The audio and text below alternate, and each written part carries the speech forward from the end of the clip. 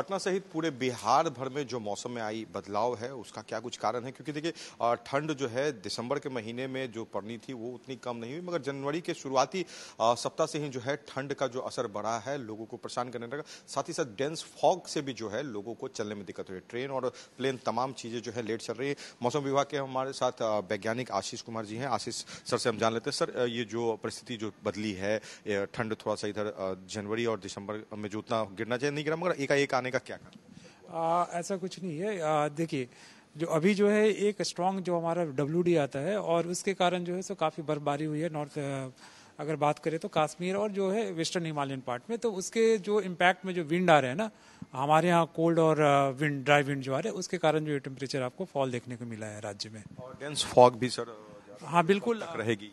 देखिए आज जो पूर्वानुमान जारी हुआ है उसमें कोल्ड डे की स्थिति जो है राज्य में आज और कल जो बनी रहेगी। और डेंस फॉग जो है सो अगले तीन दिनों के दौरान तक आपको देखने के लिए मिलेंगे खास करके नॉर्थ बिहार में और कुछ साउथ बिहार के western part of the Suraj sir नहीं दिख रहा है जो है विजिबिलिटी भी नहीं है तो क्या ऐसी स्थिति? देखिए ये जो फॉग होता है फॉग का लेयर लिफ्ट हो जाता है तो उसके कारण जो ऊपर पर लोअर एटमोस्फेयर में आप देखेंगे जो क्लाउड का लेयर बना हुआ है फॉग जो लिफ्टेड हो गया है उसके कारण आपको सूर्य अबकी देखने को नहीं मिलेंगे। ये है कि जब क्लियर होते हैं अभी जैसे आप देखेंगे हमारा जो सेटेलाइट इमेज में धीरे धीरे जो लेयर है ब्रेक हो रहे हैं इसके क्लाउड के।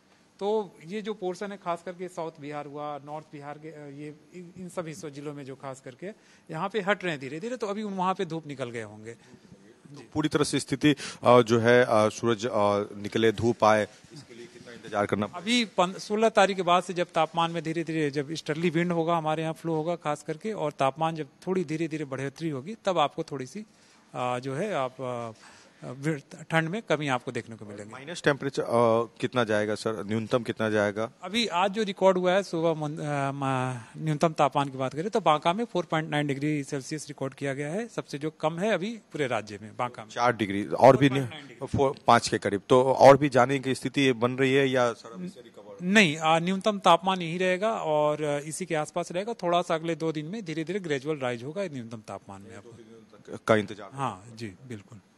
हमारे साथ मौसम वैज्ञानिक थे आशीष कुमार जी, जिन्होंने बताया कि दो से तीन दिनों तक और लोगों को इंतज़ार करना पड़ेगा। ठंड का जो असर है, उससे उन्हें जो है बच के रहना और साथ ही साथ जो है सूरज जो दिखेगा, क्योंकि कोहरे के कारण जो है, घने कोहरे के कारण जो है सूरज की धूप जो है, वो नहीं मिल पा रही लोगों को, मगर दो तीनों दिन के बाद दो तीन दिनों के बाद जो है मौसम में बदलाव आएगा और लोगों को इससे थोड़ी सी राहत मिलेगी। इस समय कैंपसन फिरोज के साथ, गौतम गौड़ का न्यूज़, पटना।